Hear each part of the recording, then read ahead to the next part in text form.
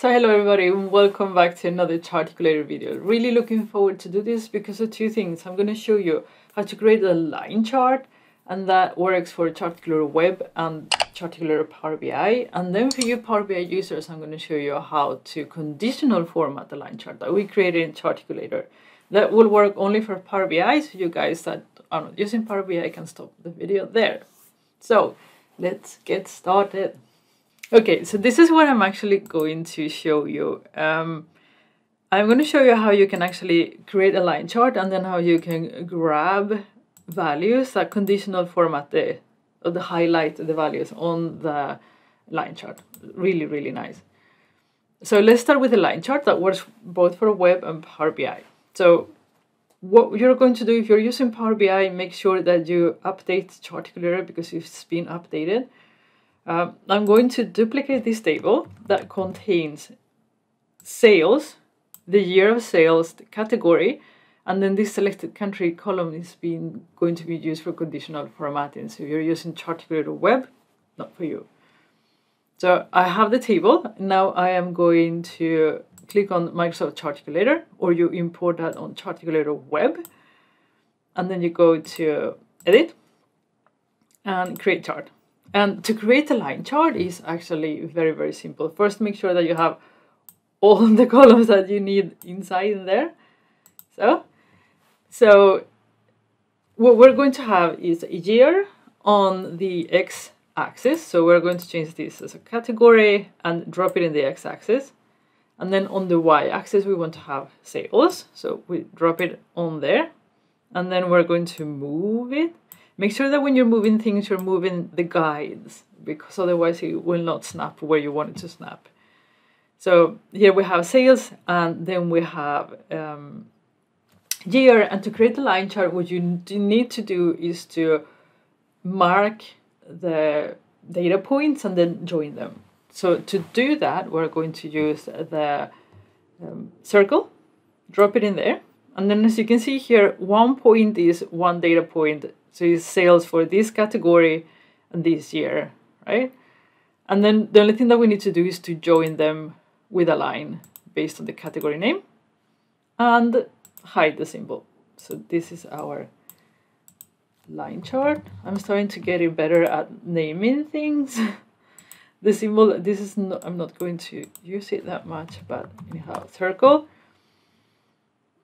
and um, this is all. That's, all that you need to do in order to create a line chart. So you can save, go back to the report, and here you have the line chart. Beautiful. Now, for you, those of you that are doing this in Power BI want to conditional format, you're going to need an extra column that is called here selected country, almost. and what this does is that when you pick something in here, you see confections, it marks it as a yes and the rest no, like selected country yes. You can mark, it's not a country actually, it's a category. You can mark multiple ones and then it will select them. So we need to create these. I showed you um, yesterday on DAX Fridays video number 212 how to create these DAX. So if you want to know how it is done, you will get this file obviously, so you can just check it out. But if you want to know how this is done, check that video. Make sure that that column is in your Charticulator fields in here. And in order to be able to mark that, the only thing that we need to do is to grab the line and then the color we're going to if you see this symbol it means that it can be data driven so you don't need to hard code the value like it is now so i am going to drop selected country column in there. Click in here, there is a properties, and then I'm going to say if it is yes, give it a red. If it is no, give it a black or gray-ish, right? And then you're going to go back and look at that. Is working already, right? So if I select multiple, it will highlight multiple. The next thing that we need obviously is a legend, otherwise how do we know what has been selected? Legends are hard coded, so the values are hard coded. It means that I cannot choose a category name in here and conditional format it because it will filter out. So the way I found to do it, which is a very popular way anyhow, is let's unhide this. We see again the circles, our data points. I'm going to drop a text, zoom out, and then put it on the side. This text is going to be our legend. Legend. And then I am going to uh, conditional format we can do later. There is a possibility to data, you know, to change the visibility of everything based on a value, which is really, really nice. So if I change this as a number and then I drop it in here, obviously this is not going to be like very good because, you know, data is going to be dynamic in Power BI. So you probably would like to have a create a DAX measure that identifies with a yes always the last year. So, you know, yes, no, and then you do exactly the same thing. Uh, just not to make this very long, I'm going to do greater, or if you know that the data is not going to change, you say if it is greater than 1998. Unfortunately, I'm hard coding this value, and this that's just going to, you know, not going to be very effective after a while. Uh, let me again hard code the value and then it will show the the last text again use a yes or no conditional format um, measure and then you will be able to do this and then the next thing that we want to do obviously is also conditional format this legend so we're going to drop selected country in there and we're going to put category name on text and there you have them it's not like very readable. I wish that you know Charticulator would um, space things better, like realize that they are on top of each other and you know move them a little bit. It doesn't do it. But when once you put this into Power BI,